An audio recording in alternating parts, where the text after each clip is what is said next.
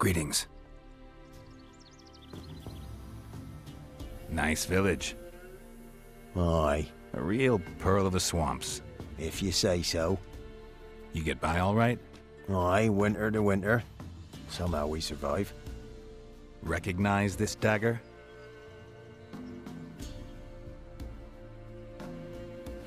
Aye, master.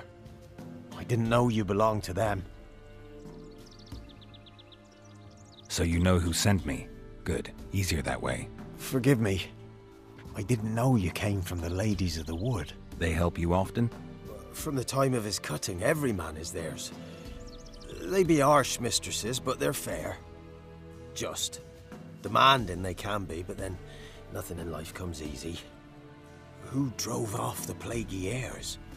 Who gave us seeds to plant?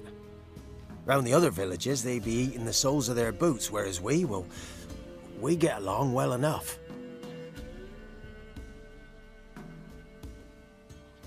Hear about an ashen-haired woman meeting the ladies of the wood? I ain't heard nothing about that. Beg your question to the ladies, and they may answer. They knows all that happens in Velen. They got informers? The woods listen for them. A lone word at an ill hour can arouse their wrath, but they hear pleas and prayers as well. Once a swineherd lost a sow, sat and cried at the crossroads. The sow ran out of the trees as if chased by a devil, straight to the swineherd. Ever meet the ladies of the wood? Never. They only shows themselves to the chosen. Perchance one day I too will be summoned.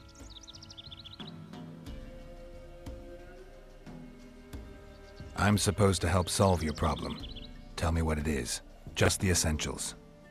The war awoke an ancient power. An evil one that feeds on bloodshed. Nightmares haunt our nights and days. Folks sleepwalk from their homes, never to return. Under the tree on the Whispering Hillock they lie. Unburied, all fathers, sons, daughters, and mothers.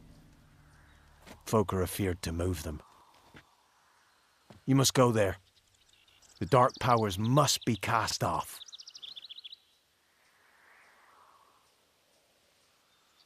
Ladies of the wood don't know what this power is? They know all. Old Thekla claimed they'd be punishing us. Folk stopped respecting 'em. Some even call 'em witches. But must not be they, for they sent you. I'll look around the Whispering Hillock. You be careful, Master Witcher. Don't ye treat this evil light.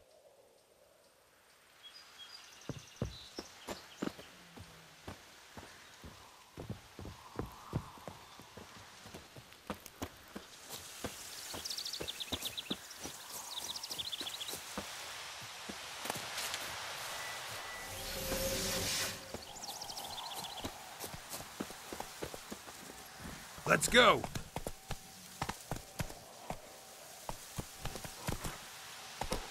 Giddy up.